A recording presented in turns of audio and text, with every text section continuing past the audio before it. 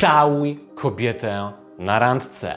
Nie odwlekaj tego. Nie czekaj na idealny moment. Nie obawiaj się, że pocałunkiem coś zepsujesz i tak samo nie bój się, że kobieta od tego pocałunku się odsunie. Nawet jeżeli się odsunie, nic się jeszcze nie stało. To nie jest koniec świata.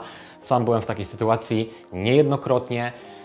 Panowie, istota jest taka, abyście posuwali rzeczy do przodu. Kobieta nie zrobi tego za Was i generalnie rzecz ujmując, im szybciej pocałujesz kobietę, z którą randkujesz, tym lepiej. Mówiąc co Tobie, nie mam na myśli, że Ty musisz się pocałować po 30 minutach pierwszego spotkania, czy nawet po godzinie, czy po dwóch godzinach pierwszego spotkania. Natomiast mam na myśli to, że jeżeli masz możliwość pocałować ją na pierwszym spotkaniu, to nie czekaj z tym do drugiego. Jeżeli nie zrobiłeś tego na pierwszym spotkaniu, masz możliwość zrobić to na drugim spotkaniu. Nie czekaj do kolejnego. Nie myśl sobie, że zagrasz bezpiecznie, zachowawczo, spokojnie, żeby tego nie zepsuć, bo stary, może być tak, że trzeciego spotkania w ogóle nie będzie, w ogóle ono nie dojdzie do skutku. Kobieta weźmie cię za gościa, który po prostu nie ma pewności siebie, który nie jest konkretny, nie wie czego chce. Może chcesz koleżanki, może chcesz się pospotykać po prostu tak o, bez większego celu, i ona po prostu może się wycofać, bo nie będzie tam żadnych konkretów. Tym samym nie próbuję Tobie przekazać absolutnie, że Ty masz cokolwiek forsować. Nie masz być nachalny. Ty nie masz być przesadnie dotykalski. Nie masz tego robić bez, bez wyczucia. Nie masz tego robić w pośpiechu. Kobieta na swój sposób również musi być na to gotowa. Natomiast tutaj z pomocą przychodzi inicjowanie dotyku od początku Waszej znajomości i z pomocą przychodzi również flirt. Dwie absolutnie kluczowe sprawy, jeżeli chcesz pocałować kobietę na pierwszym czy maksymalnie drugim spotkaniu. Moja filozofia jest prosta. Jeżeli nie pocałujesz kobiety na pierwszym spotkaniu, koniecznie powinieneś zrobić to na drugiej randce. Jeżeli nie pocałujesz kobiety na drugim, maksymalnie trzecim spotkaniu, najprawdopodobniej nie pocałujesz jej już nigdy, bo jeżeli ona nie poczuła gotowości do tego, aby odwzajemnić pocałunek na trzech spotkaniach, to nie poczuje już tego w większości przypadków nigdy, chyba że jest bardzo młoda, macie po 18 lat, jesteś jej pierwszym chłopakiem, ona Twoją pierwszą dziewczyną, ok, w takiej sytuacji Was rozgrzeszam. Natomiast jeżeli jesteś dorosłym chłopem, ona jest dorosłą kobietą, macie 30 czy nawet więcej lat, czy 20 parę lat, no to moi drodzy, naprawdę trzeba iść po swoje. A ty, mój drogi, spotkałeś się z nią raczej nie po to, aby szukać koleżanki czy przyjaciółki. Ona jest dla ciebie atrakcyjna, seksowna, pociągająca, więc nie ukrywaj, że masz jaja tam na dole, tylko inicjuj kontakt fizyczny. Posłuchaj. Panowie, dlaczego ja w ogóle poruszam ten temat? Słuchajcie, często przychodzicie do mnie na konsultacje w tematach randkowych. Wielu z Was jest w związkach, ale wielu z Was, panowie, również w tym momencie randkuje i powtarzają się te same schematy. Przychodzisz do mnie, mówisz mi, że spotykasz się z dziewczyną, która w tym momencie się generalnie niestety wycofała. Opowiadasz mi historię Waszej znajomości, mówisz, że była pierwsza randka, świetne spotkanie, 5-6 godzin, byliście w trzech różnych miejscach, świetne spotkanie. Ja Cię później pytam, czy był pocałunek? Ty mówisz, że no nie, nie było. Spoko. Później drugie spotkanie, kolejne spotkanie, 7 godzin razem. Koniec końców ona nawet skończyła w Twoim mieszkaniu. Ja Cię pytam, czy Ty ją pocałowałeś? No nie, wiesz, nie, nie pocałowałem i w sumie no, nie pomyślałem o tym. Jakoś tak wyszło, że, że tego nie zrobiłem. I nagle okazuje się, że Ty mówisz mi, że na trzecim spotkaniu cmoknąłeś się w usta na do widzenia, na czwartym spotkaniu ona już była bardziej wycofana, na piątym dała się pocałować dwa razy, a w tym momencie się wycofała. Zaznaczę, ja w tym momencie nie odnoszę się do żadnej konkretnej sprawy jednego z Was. Takich tematów jest bardzo wiele, więc nie odbierajcie tego w tym momencie personalnie. Mówię to bardziej ogólnikowo, gdyż panowie, wasze tematy się naprawdę zazębiają. Bardzo wielu z Was przyjmuje podobną postawę z kobietami, z którymi randkujecie. Chcecie być poprawni, chcecie być zachowawczy, nie chcecie spalić tej relacji, więc przyjmujecie raczej taką bardziej powściągliwą postawę. Spróbuję, ale raczej nie będę jakoś tam podejmował bardziej odważnych kroków. To, co panowie y, jest u Was problematyczne, to jest to, że Wy bardzo bierzecie mocno do siebie to, co kobiety Wam mówią. Kobieta Wam powie na spotkaniu, że ona by się nigdy nie pocałowała z facetem na pierwszej randce i Wy to łykacie. I myślicie sobie, aj nie no, jak ona taka jest, to ja lepiej nie będę próbował, bo jeszcze spalę i ona się wycofa. Albo kobieta mówi Wam, że ona by nigdy nie poszła do łóżka na pierwszych dwóch spotkaniach z facetem, tak, że ona no, musi być z, z, kimś w związku, tak, albo spotykać się z kimś co najmniej dwa miesiące. I Wy to bierzecie bardzo dosłownie do siebie i w ogóle nie inicjujecie dotyku, w ogóle nie eskalujecie fizyczności w tej znajomości.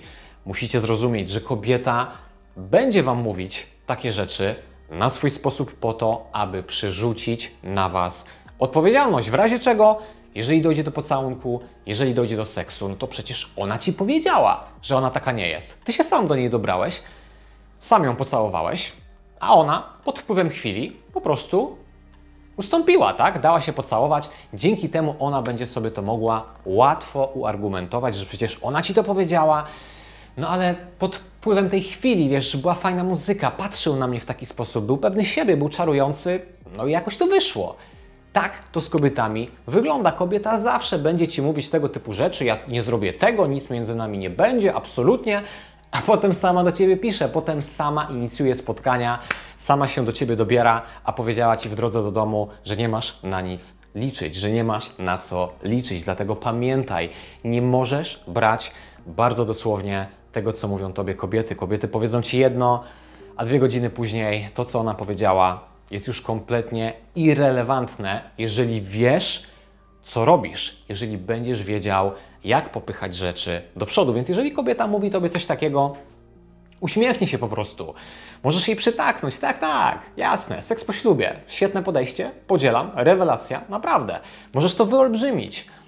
Wręcz zażartować sobie z tego i zmienić temat, nie rozgadywać się na ten temat, tak? Czy ona by to zrobiła, czy by tego nie zrobiła. Ona ci powie oczywiście, żeby tego nie zrobiła. Oczywiście kobiety będą tobie mówić takie rzeczy, że ona by tego absolutnie nie zrobiła, abyś ty jej nie ocenił, abyś jej nie zaszufladkował i abyś potencjalnie nie wziął jej za kobietę lekkich obyczajów, jeżeli można tak to ująć. Chociaż z mojej perspektywy nie ma nic złego w tym, że kobieta da się Tobie pocałować, czy trafi do Ciebie do mieszkania, czy nawet pójdzie z Tobą do łóżka na pierwszym spotkaniu. To wszystko zależy od kontekstu znajomości. Gdyby kobieta robiła to z 90% mężczyzn, z którymi się spotyka, no to jest to spory problem, tak? Natomiast jeżeli Ty jesteś wyjątkowy, wiesz jak rozmawiać z kobietami, wiesz jak inicjować dotyk, jak flirtować, jesteś czarujący, charyzmatyczny, masz to coś, to ja nie uważam, żeby było coś złego w tym, że kobieta pójdzie z Tobą do łóżka na pierwszym czy na drugim spotkaniu, jeżeli poczuła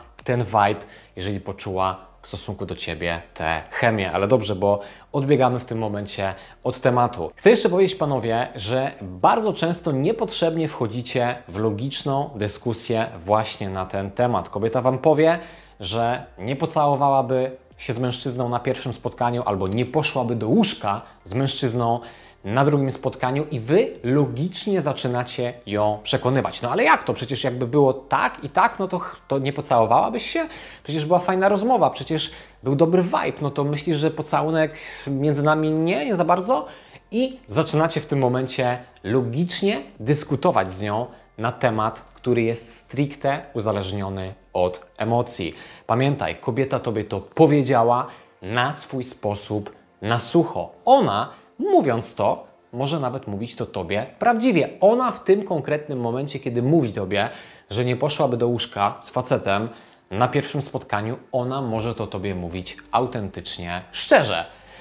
Natomiast później, z biegiem spotkania, jeżeli inicjujesz dotyk w odpowiedni sposób, jeżeli patrzysz na nią w odpowiedni sposób, jeżeli potrafisz z nią flirtować, potrafisz z jednej strony zbudować i swoją wartość, i komfort w jej oczach, ona trafiła do ciebie do mieszkania, nie byłeś nachalny, ale jednocześnie popychałeś rzeczy do przodu, nagle może się okazać, że 4 godziny później jej słowa idą do lamusa i skończyliście razem w łóżku. Czy to oznacza, że ona wcześniej kłamała? Nie! Mówiła to tobie na swój sposób, na sucho, jeżeli mogę tak to powiedzieć. Mówiła to tobie w tamtym momencie bez zabarwienia emocjonalnego, bez tego wszystkiego, co wydarzyło się później. A pamiętaj, że kobiety bardzo często działają pod wpływem emocji, idą za tym, co czują w danym momencie, więc ona na początku spotkania może Tobie powiedzieć coś takiego, a trzy godziny później, kiedy poczuje ten vibe, poczuje tę chemię,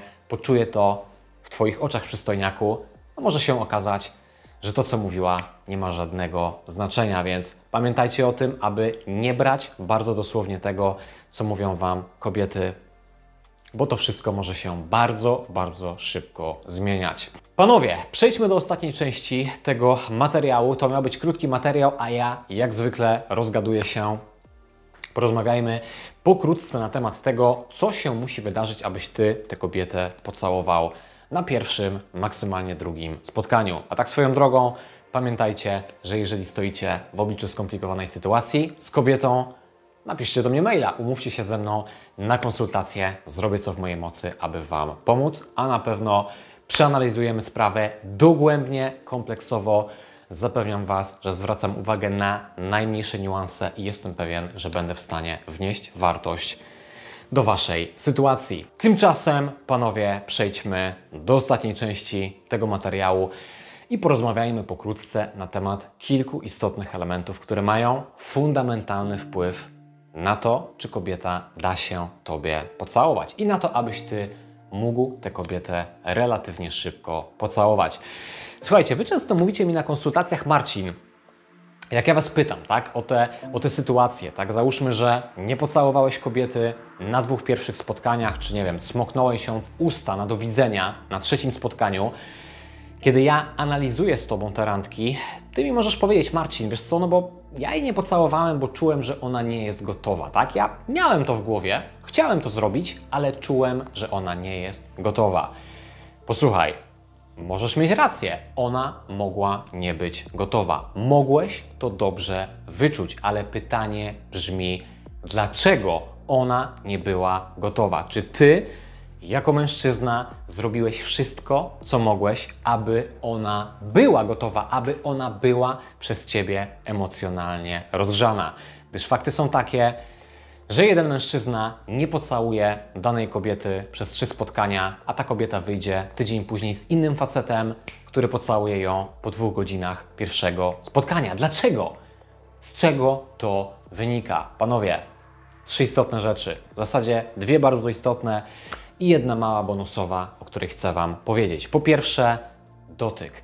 Powinieneś od początku znajomości z kobietą inicjować subtelny dotyk. To ma być subtelne, nienachalne, niemalże niezauważalne. Kiedy się z nią spotykasz, ona idzie w Twoją stronę. Pierwszą taką rzecz, którą możesz zrobić, możesz rozłożyć ręce, stworzyć jej przestrzeń, aby ona mogła wejść w Twoją przestrzeń prywatną możesz dać jej buziaka w policzek. Możesz ją delikatnie przytulić na dzień dobry. Tak samo siedzisz z nią w kawiarni, rozmawiacie, opowiadasz jej jakąś historię, kiedy coś akcentujesz, możesz delikatnie musnąć ją w bark. Mówiąc jej o czymś, możesz delikatnie, subtelnie ją dotknąć.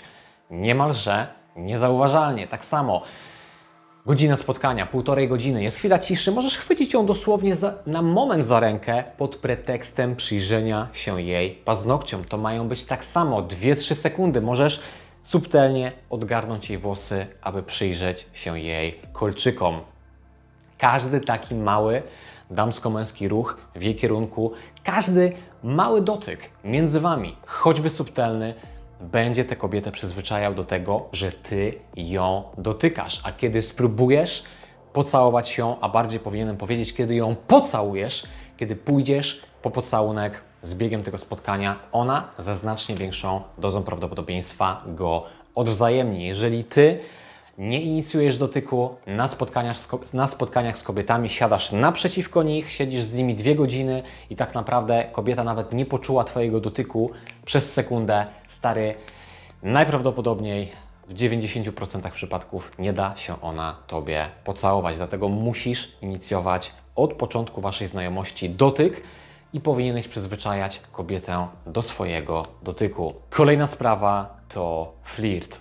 Mój drogi, możesz rozmawiać z kobietą naprawdę na najróżniejsze tematy. Oczywiście są lepsze, są gorsze tematy do rozmów na randkę, ale fakty są takie, że to, co jest istotne, to jest to, aby wasza rozmowa nie była stricte koleżeńska, nie była platoniczna, tylko i wyłącznie przyjacielska. Tam muszą co jakiś czas znaleźć się damsko-męskie wstawki, trochę flirtu, trochę droczenia, odwrócenie kota ogonem, błędne zinterpretowanie czegoś, co ona tobie powiedziała na twoją korzyść. Ona coś powiedziała, a ty to wziąłeś jako komplement.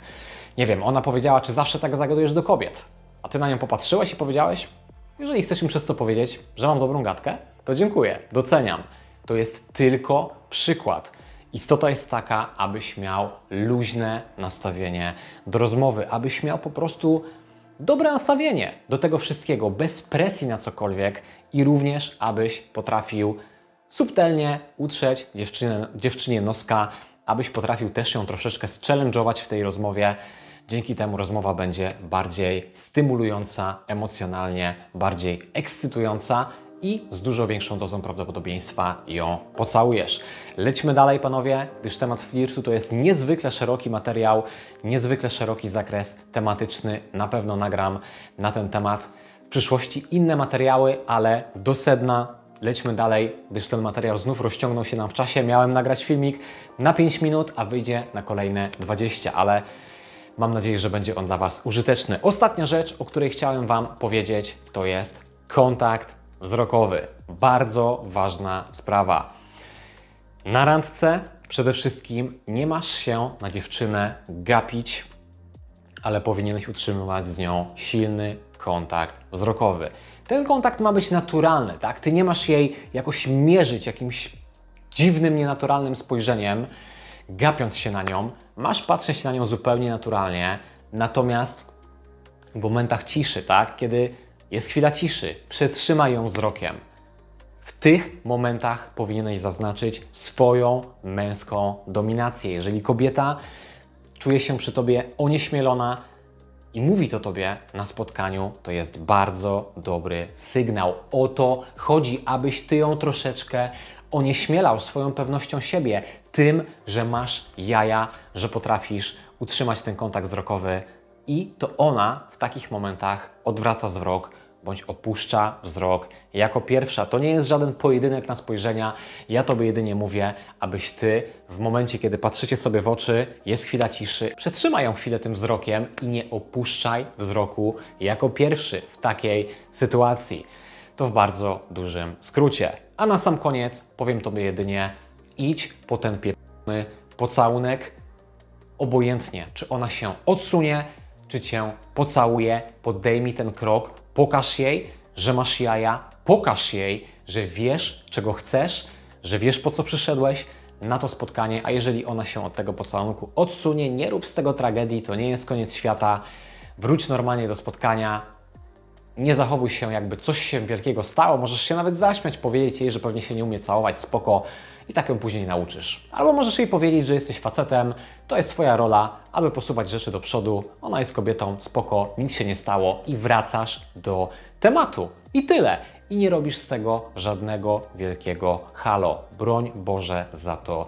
Nie przepraszaj, wróć do tematu, wróć do rozmowy, Porozmawiaj z nią przez kolejne pół godziny, godzinę i spróbuj ponownie. To, że kobieta odsunęła się od pocałunku o godzinie 22, to wcale nie oznacza, że o 23 jej nie pocałujesz. A jeżeli ponownie odsunie się od pocałunku, a spotkanie będzie trwało przez kolejne kilka godzin, spróbuj ponownie. Czasami możesz pocałować kobietę za trzecim, za czwartym, czy nawet za piątym razem. Z biegiem spotkań, z biegiem poznawania kobiet z biegiem randkowania nauczysz się to wyczuwać i w większości przypadków, jak już pójdziesz po pocałunek, to po prostu ten pocałunek otrzymasz. Ale na początku nie przejmuj się tym, po prostu inicjuj dotyk i idź po ten pocałunek, bo przynajmniej będziesz wiedział, jakie podejście do tej relacji ma ta dziewczyna. Ona może już dawno czekała na ten pocałunek, a ty zwlekałeś, przyciągałeś, chciałeś być poprawny, zachowawczy i dziewczyna straciła entuzjazm, bo nie widziała konkretów. Więc pamiętaj, z mojej perspektywy lepiej troszeczkę przedobrzyć niż nie dorobić w takiej sytuacji, a kiedy przedobrzysz kilkukrotnie, nawet zrobisz za dużo, z biegiem czasu wyłapiesz równowagę w tym wszystkim i będziesz w stanie wyczuć to lepiej, będziesz bardziej skalibrowany, jeżeli mogę tak to ująć, i będziesz zdecydowanie częściej kończył randki całując dziewczyny. Panowie, tyle na dzisiaj z mojej strony. Jeszcze raz powtórzę, jeżeli stoicie w obliczu skomplikowanej sytuacji z kobietą, napiszcie do mnie maila. A jeżeli chcecie zacząć poznawać kobiety na żywo, nie tylko przez internet, chcecie wreszcie przełamać się, aby zagadać do kobiety, która, nie wiem, wyszła ze sklepu, w którym byliście, chcecie wreszcie zagadać do kobiety na żywo, do kobiety, która Was minęła na ulicy. Powiem Wam dokładnie, jak to zrobić. Nauczę Was tego, pokażę Wam również moje podejścia w kursie, który oczywiście możecie zakupić i który jest już do Waszej dyspozycji. Podlinkuję Wam moją stronę w opisie tego filmu. Przesłuchajcie sobie materiał, który jest tam dostępny na mojej stronie, a tam opowiem Wam więcej. Mam nadzieję, że u Was wszystko w porządku, a my widzimy się już w kolejnym odcinku. Do zobaczenia!